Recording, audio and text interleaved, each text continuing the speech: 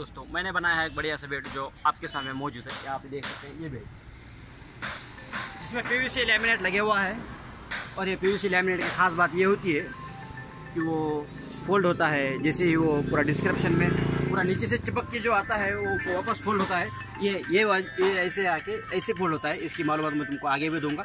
और यहाँ की मालूम अब ये है कि ये बॉक्स के अंदर इस तरह का बॉक्स है एक बेड के अंदर, जो काफ़ी बड़े साइज़ में है।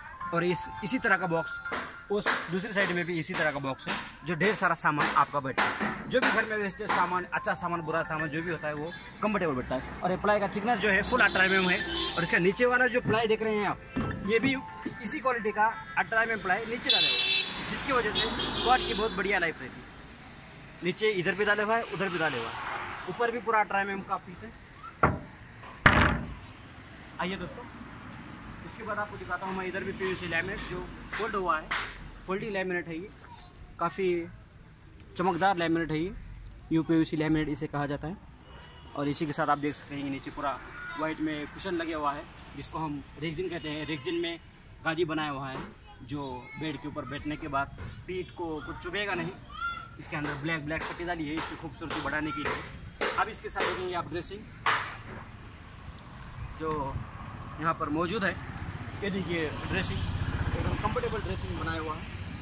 काफ़ी मज़ा आ रहा है ये।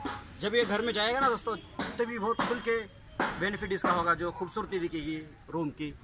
आप देख सकते हैं ये ये जो गुंडी देख रहे हैं अभी एस एस में गुंडी है स्टील गुंडी है, जिसकी वजह से ये ड्रॉर आगे पीछे होता है स्लाइड होता है।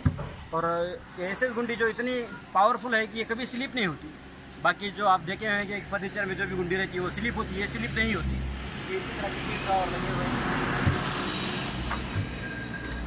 आप ये साइड से देख सकते हैं फोरमैक जो है ना पूरा फोल्ड हुआ है।